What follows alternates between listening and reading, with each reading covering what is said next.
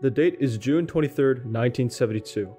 President Richard Nixon signs a law that would soon ban gender discrimination in schools and give equal education to millions of girls across the country, from elementary schoolers to college students. One woman looks on Congresswoman Patsy Mink. Patsy Mink was born on December 6, 1927, in Maui, Hawaii, a third generation Japanese American. On December 7, 1941, when she was in high school, the Empire of Japan attacked Pearl Harbor. Soon to follow was widespread discrimination against Japanese Americans based on the belief that the Japanese in the country would side with Japan, not the US, in the soon to come World War. Yet, even during this difficult time, Mink was elected to become the student body president and valedictorian of her class. Unfortunately, she continued to suffer discrimination in college. Her dorms were segregated, and she continued to be treated poorly by her classmates, leading her to change schools many times. She eventually decided to study law at the University of Chicago, where she met her husband John. Although Mink passed her bar exam, she could not find any work as a dedicated lawyer because she had already married and had a child. Employers had assumed that her being a mother meant she could not work long hours. In 1954, after moving back to Hawaii, Mink finally found work as an attorney for the House of Representatives, kickstarting her career in politics.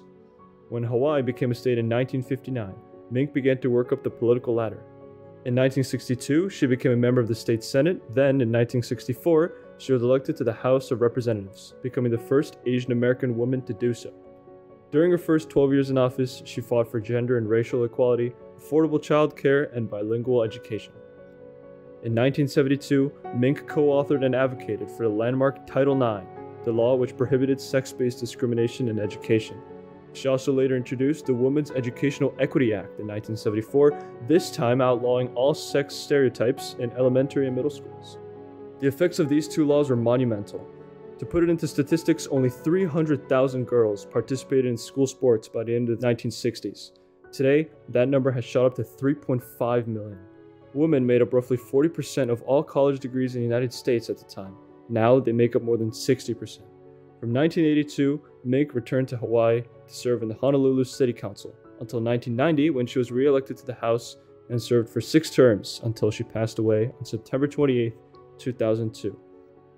After her death, she was posthumously awarded the Presidential Medal of Freedom by President Barack Obama, who lauded Mink for being a passionate advocate for opportunity, equality, and realizing the full promise of the American dream.